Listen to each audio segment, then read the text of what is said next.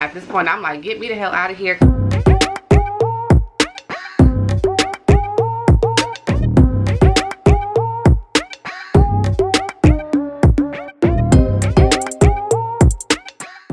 What's up beautiful people and welcome back to my channel. Or if you are new hello and welcome. My name is Yonna. So you guys already seen in the description box below. Today I will be talking all about my three month post-op before we get started, be sure to like, comment, and subscribe. Head over to my Instagram and make sure you follow me at Yonna underscore Iman. And be sure to head over to my TikTok. I have more fun than the kids, honestly. It's Yonna Iman 06 and I will have that somewhere here, there, everywhere, who knows. So I know if you already had the surgery, you're probably thinking like, what the hell did I get myself into? Like, what did I do to myself? Why did I do this? But I'm here to tell you it gets easier, it gets easier, it gets So if you are anything like me, I know when I first came out of surgery and then it didn't get any easier for those first couple of months, well weeks and months, I am here to tell you it gets so much easier. Like I feel so much better. So the first thing that I definitely wanted to jump into was swelling. Like that is the worst thing right now. Like swelling is just like there's nothing you can do about it. And to like put it in perspective, basically when I don't wear my faja and I go out, so let's say I have like a crop top on and some jeans, okay, I go out in this outfit and when I first put it on, it, it fits good. It's not digging into my skin, it's not leaving any marks, none of that. It fits really good because I'm not swollen, right? So once I'm out, moving around, some time goes by, by the time I get home, I have indentation in my sides and my stomach and, and a little bit on my back. And then I also have like that very uncomfortable feeling, like it hurts to touch. And then trying to get out of my clothes is like biscuits busting out of the can. That's pretty much what it feels like. And it's just so uncomfortable. I honestly don't know when the swelling stops because for me, it's, it's I'm still swollen. I wear my faja as much as possible if there is an event where either I'm taking pictures or something like that that requires me to be out of my faja. That's pretty much the only time that I'm out of it. But for the most part, I'm definitely always in. I still wear two foams on the side just because like when I'm wearing my faja and I'm, I'm still like losing weight and my shape is kind of curving in which is making my faja fit really weird. So I wear my foams on the side so there isn't any indentation from the creases of the faja if that makes sense. So in my three months basically right now it's maintaining my BBL so now that I'm able to work out I do work out for about 25 to 30 minutes a day. If you can hear my kids in the background y'all please excuse my little blessings. Like I always say they are living their best life and that's okay. So also I don't really diet because dieting for me is just not it's not possible. Like I like to eat so I try to eat smaller portions of what it is that I've cooked or my husband has cooked. Pretty much the worst part for me is the swelling. Everything else is like really good to go. So over on my instagram page i had a lot of ladies wanting to know more about my experience at unique aesthetic center so i wanted to pretty much give you an overview of everything. I think i did do some in my other videos but i don't mind saying it again started from the beginning. They sent me my time the day before and then of course I got up, I went in. When I went in, they had a kiosk for me. I had to enter my patient code.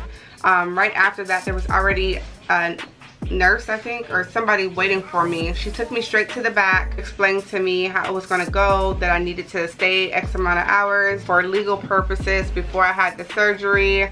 And then I got dressed. The anesthesiologist came in to talk to me, um, asked me about any health concerns or anything like that. And he pretty much was like, all right, your doctor's gonna come in uh, probably about 30 to 45 minutes later, Dr. Fisher came in and we talked about what I wanted and we pretty much talked about what was realistic for my body. And that's another reason why I love Dr. Fisher because he really listens to what you want and he's very honest. He's gonna tell you that's not gonna work. You gonna get this surgery, you still gonna have to work out in these areas and blah, blah, blah. So um, we pretty much went through that. He did tell me that I was a little overweight, which if you've seen my, I believe it was my first post-op video, I pretty much explained that I gained so much weight thinking that I needed to gain this weight in order to get the results that I wanted. When realistically, I could have literally just went to the weight I wanted to stay at and maintain so I pretty much jacked myself up with that and I have to now go backwards and work that extra fat off, if that makes sense. Back to my experience at Unique. So after he came in and marked me up, um, I probably waited another 30 to 45 minutes. And then they came in, well the anesthesiologist came in. Um, we were just talking about me being from Ohio. Uh, he had me put my arms out and I laid down on the table. He asked me about Ohio and I think he asked me to spell Ohio and then after that I was out. So when I woke up, you guys, I was in enormous pain. I'm not even gonna lie to you. I'm not gonna hold you. Like it was so painful. Like, and then I'm like so groggy. I, everything just like I could remember, but I could I could barely remember everything. I just remember being on my stomach and someone saying, "Mommy, you gotta roll over. Mommy, you gotta roll over." So I had to roll over on my own. And she's like you gotta push up. So like i'm struggling because i just feel so heavy and i'm in so much pain. So i just remember getting up. Somehow i ended up actually um, turning myself over. I don't remember how or how i did that. I just i did it. And then she pretty much gave me a little cup of gatorade and was like your mom and your aunt and your cousin is outside did you want to wait a second or did you want to try to get up? And at this point i'm like get me the hell out of here because i'm trying to get some payments. So i ended up sitting down but then i like hopped up immediately because when i sat down on my butt it hurt so bad. I was pretty much in like the up and down limbo mode um, so I jumped up and then she's like, you know, you have to sit down. You have to sit down, mommy. Sit down, sit down, sit down. So I sat down. She started to wheel me and I told her like, no, I got to get up again because my butt was hurting so bad and like everything was just hurting. So she was like, you have to sit down. You're going to fall. You're going to pass out. You got to sit down. You can walk once you get to your hotel. And I was like, okay. So I sat down and I finally got out. I was in a lot of pain up until I got my medication. And after that, it was pretty much smooth sailing. It still hurt because it wasn't enough to knock all of the pain out. But it was enough for me to be able to function and not feel like, oh my God, it really, really hurts. So I got in total 12 Percocet. So I really wanted to make sure I used those when I really, really needed to. And I just alternated between extra strength Tylenol and then the Percocet. I wasn't using up all my Percocets because I knew I was going to need some for that plane ride home. And if you've seen my BBL vlog, from there is pretty much how everything went. So you'd have to go back and watch mine. So day one, I pretty much was walking all day. Like day and night. So like I was extremely exhausted when I even got back home because between having my baby there and trying to function as a mom and recover, that shit was not okay. So if you plan on taking your baby that's under one years old,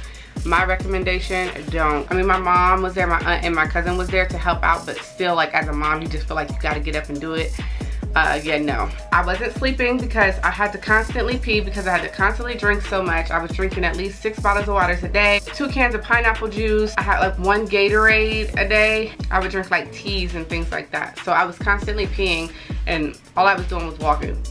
When I got up to pee, I would just walk for like 30 minutes to an hour, no lie, because I knew once I lay back down, it was going to be so uncomfortable. And then getting up was so hard because you have to use muscles that just hurt. So even with the medication, it was still like pretty painful. Day two, it eased up just a little bit. I was able to like walk a little bit faster without pain. I was able to kind of like, well, I wasn't able to bend down probably for like at least a month and a half.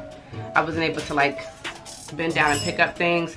Even now, like right up under my boobs, if I like lift my boobs up too high or like this skin stretches that's underneath my boob it like feel like it's about to rip apart and it hurts. So that's still kind of like i guess healing and doing whatever it's supposed to be doing. Day three still not bad. It was getting better. It didn't still feel like 100 percent though but i definitely felt like i was taking a step in the right direction. It was starting to like brighten up a little bit but I didn't even have Miami to help like the scenery of Miami because it was raining and it just always seemed so dark and it just was like I don't know. I was pretty much like okay the sunshine's gonna help me out you know it rained the whole time.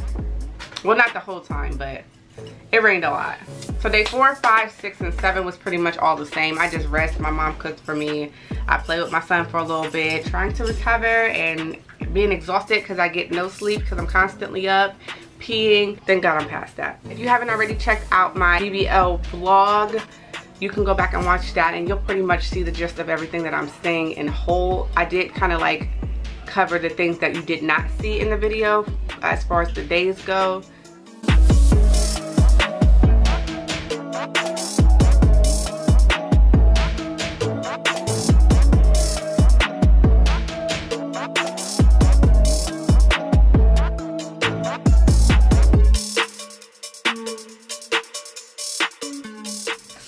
Much concludes this video. Please remember, if you have any questions, either head over to my Instagram and DM me.